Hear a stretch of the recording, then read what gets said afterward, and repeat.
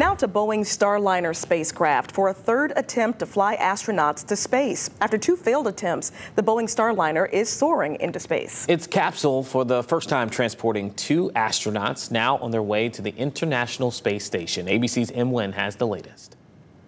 Go Starliner. Godspeed, Butch and Suni.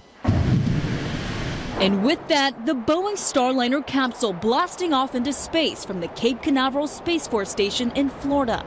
Although Elon Musk's SpaceX had made nine trips for NASA since 2020, it's Boeing's first time taking a crew into space.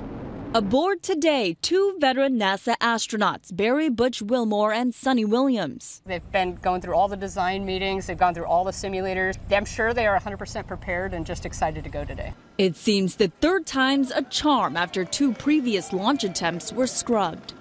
This mission already about four years behind schedule, repeatedly grounded by software glitches, fuel valve, and parachute problems. Hold, hold, hold. The last attempt Saturday was thwarted just four minutes to go because of a last minute computer issue with the ULA Atlas V rocket.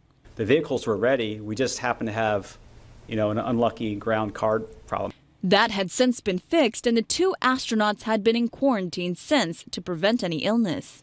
The pair will test Starliner's systems on the way to the International Space Station, about 250 miles above Earth.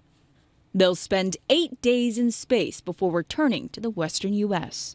Starliner should reach the International Space Station by Thursday morning. And this comes as Boeing has been facing a PR crisis with the numerous reports of issues about their passenger planes. Em Nguyen, ABC News, Washington.